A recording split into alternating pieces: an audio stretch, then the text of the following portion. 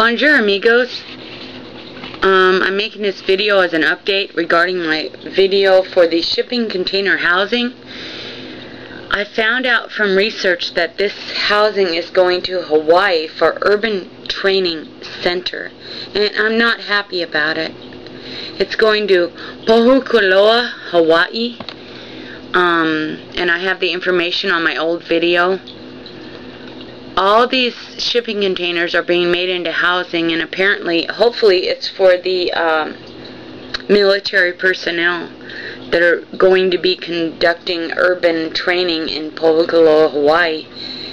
I'm really not happy about it because if you look up Pohakuloa, Hawaii Urban Training Center, you'll find that they're using depleted uranium and also that they're expanding the training center and I think these containers are probably part of it. They were supposed to ship today. Um, I don't know why they decided to build them here. I guess it's cheap because we have so many illegals. But, um,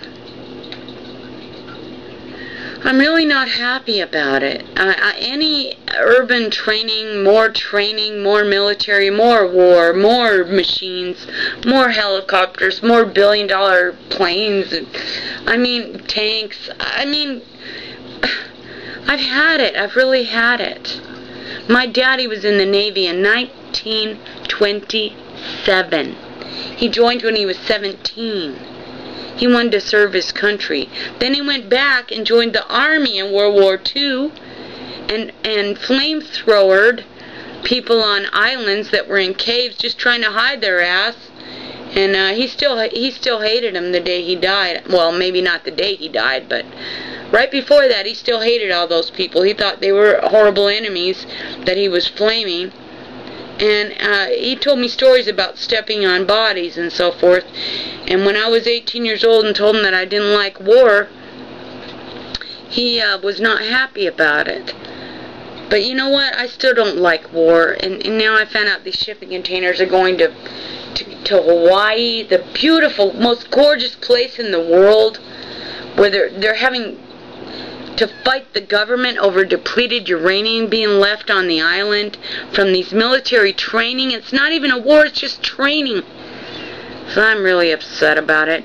And my camera's broke. I'm looking at a broken screen right now, so I can't take a video of myself until I get a Sharpie, put the camera up there, take a picture, and measure where it is, and try to see if I can get myself in the photo, because the camera screen broke for no apparent reason. I guess they're very delicate. I was careful of it. But I wanted to give you guys an update. I've got so much information. Uh, please write to me. Blessings. Bonjour, here's what I'm talking about. I got challenges because I have so much information. Here's my folder I showed you before. It's called Infowar. Here's the stuff I haven't put away yet.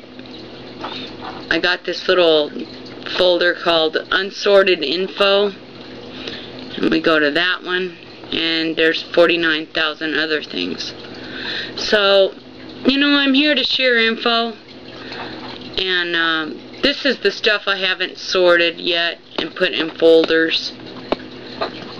And then I have the stuff that I've already sorted and put in folders. And I have this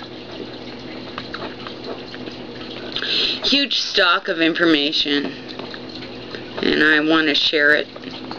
I'm really upset about that last video finding out that in my hometown that they're sending these things to Hawaii for a training base that uses depleted uranium and it's going to blow up part of the island of Hawaii.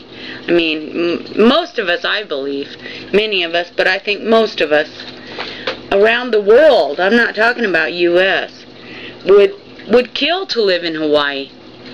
And you know, how dare they put this training place there. But anyway, please write to me and let me share my information. Blessings. Hi there. It's the last thing I'm going to say, which um, was just a thing I've been thinking about about my homepage. Uh, on my homepage, I have a little quote from Thomas Jefferson where he said, We deplore the event which shall oblige us to retaliate, shed blood for blood, and shall resort to retaliation, but as the means of stopping the progress of butchery. He said that because my uncle, Ethan Allen, who's quoted further down on the page, was taken with other people by the British as a prisoner. And Thomas Jefferson had every thought that these people would be butchered because of the treatment they were given. So he said, We deplore the event which shall oblige us. In other words, he was not the aggressor. They were feeling that they were obliged and had to retaliate because these people were bound, chained, taken in ships to Britain, to another country. And they were warning the British that they should resort to retaliation as the means of stopping the progress of butchery. And I am not an aggressive person, as you know. Neither is my son or me and my family. But it is important to remember that in stopping the progress of butchery, we must take action. That is why I have this quote.